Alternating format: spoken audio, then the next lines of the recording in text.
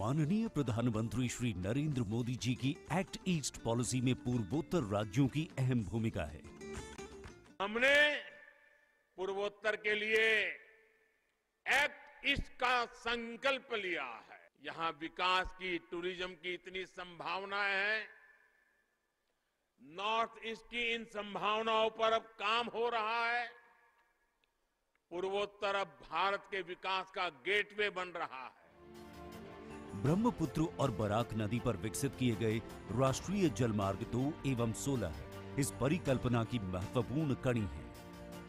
ब्रह्मपुत्र नदी के दक्षिणी तट पर बसे गुवाहाटी के पास पांडु में एक मल्टी मोडल टर्मिनल का निर्माण किया गया है। पूर्वोत्तर भारत में जहाजों की मरम्मत एवं रखरखाव के लिए कोई आधुनिक सुविधा नहीं है। जहाजों को मरम्मत के लिए कोलकाता ले जाना पड़ता है, जो काफ़ी खर्चीला है। इस कमी को दूर करने के लिए गुवाहाटी के निकट पांडू में जहाजों की मरम्मत के लिए एक ड्राई डॉक की स्थापना की जा रही है। अब इस पूरे क्षेत्र में जहाज़ मरम्मत का काम भी होने लगेगा, जो आर्थिक बचत के साथ ही साथ रोज़गार का भी सृजन करेगा। माननीय प्रधानमंत्री ने आज इस जहाज़ मरम्मत स्थल का शिलान्यास किया। इस परियोजना की कुल लागत 208 करोड़ रुपए है। साथ ही पांडु टर्मिनल में एक एलिवेटेड रोड का निर्माण किया जाना है। इसके निर्माण में 180 करोड़ की लागत आएगी। इस एलिवेटेड रोड के बन जाने से पीएम गति शक्ति के अंतर्गत पांडु मल्टी मॉडल टर्मिनल और जिससे निर्बाध माल ढुलाई संभव होगा और आवाजाही को गति मिलेगी। माननीय प्रधानमंत्री ने आज इस एलिवेटेड रोड का शिलान्यास किया। भारत में कई जलमार्गों के विकास होने से प्रशिक्षित पेशेवरों की आवश्यकता होने लगी। है इसकी पूर्ति करने के लिए आईडब्ल्यूएआई द्वारा असम एवं त्रिपुरा सरकार के साथ मिलकर स्किल डेवलपमेंट संस्थान में ट्रेनिंग सेंटर खोले गए हैं। गुवाहाटी में स्थापित किए गए स्किल डेवलपमेंट इंस्टीट्यूट में खासतौर पर पूर्वोत्तर के छात्रों को प्रशिक्षित किया जाएगा, जो न सिर्फ़ इस सेक्टर की आवश्यकता को पूरा करेगा, अपितु उनके लिए रोज़गार भी सुनिश्चित करेगा। माननीय प्रधानमंत्री ने आज गुवाहाटी में बने मैरिटाइम स्किल डेवलपमेंट इंस्टीट्यूट का उद्घाटन किया। राष्ट्रीय जलमार्ग दो में स्थित धुबरी, जोगी घोपा, तेजपुर, सिलघाट, निमाती और डिब्रूगढ़ में फ्लोटिंग टर्मिनल बनाए गए हैं। माजुली द्वीप में आवाजाही के लिए रो रो और रो पैक्स की सुविधा शुरू की गई है। इसके अलावा बोगी बील में एक स्थायी कंक्रीट टर्मिनल की स्थापना की जा रही है, जो हर मौसम में माल ढुलाई और यात्री परिवहन को सुनिश्चित करेगा। इसी तरह राष्ट्रीय जलमार्ग 16 पर बांग्लादेश सीमा से लगे करीमगंज को ट्रांसशिपमेंट हब के रूप में विकसित किया जा रहा है। पूर्वोत्तर के सभी राज्य इस परिकल्पना की महत्वपूर्ण कड़ी है।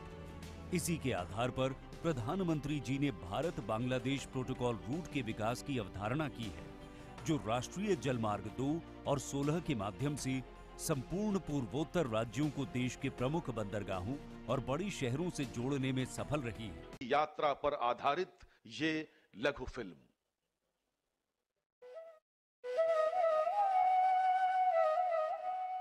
प्राचीन काल से ही भारत की नदियाँ न केवल जीवन का अनंत स्रोत रही हैं बल्कि विश्वसनीय नौचालन मार्ग भी साबित हुई हैं। माननीय प्रधानमंत्री श्री नरेंद्र मोदी के नेतृत्व में भारत सरकार इन राष्ट्रीय धरोहरों का पुनः निर्माण करने और इन्हें पुनर्जीवित करने के लिए प्रतिबद्ध है और देश का अंतर्देशीय जलमार्ग परिवहन क्षेत्र तेज़ी से प्रगति कर रहा है। भारत की नदियों में आधुनिक क्रूज चले। व्यापार भी हो, टूरिज़्म भी हो, इस दिशा में हम तेज़ी से आगे बढ़ रहे हैं। इस लक्ष्य को साकार करने के लिए 106 नए राष्ट्रीय जलमार्गों की शुरुआत की गई है, जिससे आर्थिक क्षेत्र 25 गुना वृद्धि करेगा और देश में पर्यटन से जुड़े स्थानीय व्यापारियों को रोज़गार मिलेगा। विकास की इस महत्वाकांक्षी यात्रा में गंगा विलास रिवर क्रूज एक अहम अध्याय है।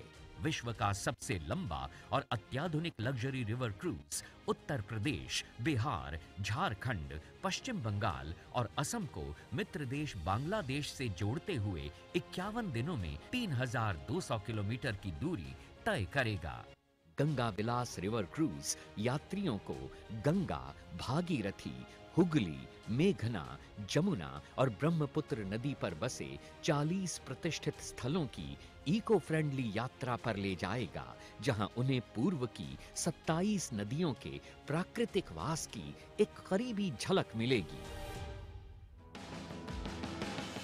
माननीय प्रधानमंत्री से हरी झंडी मिलने के बाद गंगा विलास रिवर क्रूज की ऐतिहासिक यात्रा की शुरुआत होगी वाराणसी के पवित्र घाटों से, जहाँ से ये गंगा नदी पर उत्तर प्रदेश के किलों, संग्रहालयों और मंदिरों से होता हुआ गाजीपुर, बक्सर, बिहार पहुंचेगा। जहाँ यात्री पटना साहिब गुरुद्वारा के दर्शन और झारखंड के मनोरम दृश्य का लुत्फ उठा पाएँगे। फरक्का में हुगली नदी पर अनोखे गाँवों और डाक बंगलों के मनमोहक नजारे और ध्वनियाँ क्रूज का स्वागत करेंगे, जो जल्द ही कोलकाता के ऐतिहासिक महानगर की चहल पहल और लजीज मिठाइयों की दुनिया में प्रवेश करेगा। और फिर धाराओं पर बहता हुआ विश्व के सबसे बड़े मैंग्रोव जंगल सुंदरबन पहुँच जाएगा, जहाँ यात्री मेघना नदी डेल्टा की लहरों पर बोनो बीबी की कहानियों से अवगत होंगे। काजीरंगा के घने जंगल गुवाहाटी में स्थित सबसे प्राचीन शक्तिपीठों में से एक कामाख्या मंदिर। निचले और ऊपरी असम को जोड़ने वाली महत्वपूर्ण रेल कम सड़क धमनी, बोगी बिल पुल का वास्तुशिल्प चमत्कार और माजुली की सांस्कृतिक शामें इस यादगार यात्रा का अंतिम पड़ाव हैं, जहाँ विश्व का परिचय पूर्व की विशेष तौर पर संजोई गई सांस्कृतिक और पाक विधाओं से होता है। तो आइए और हमारे साथ मिलकर भारत की पावन नदियों के समृद्ध और अनछुए इतिहास का जश्न मनाइए, क्योंकि एक भारत श्रेष्ठ भारत के समग्र राष्ट्रीय संकल्प के तहत पूरा देश मना रहा है। संस्कृति का एक अद्वितीय उत्सव। यह ऐतिहासिक दृश्य है, माननीय प्रधानमंत्री महोदय, हरी झंडी दिखाकर। गंगा विलास को उसके गंतव्य की ओर रवाना कर रहे हैं।